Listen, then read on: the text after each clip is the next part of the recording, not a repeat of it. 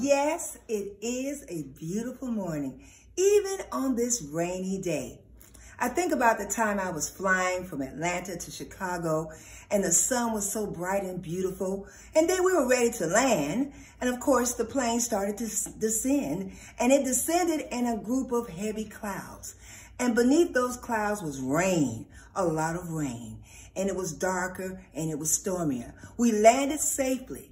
But I thought about as we landed, you know, through this storm, the sun was shining. The sun is always shining.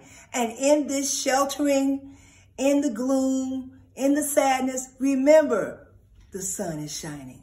You know what?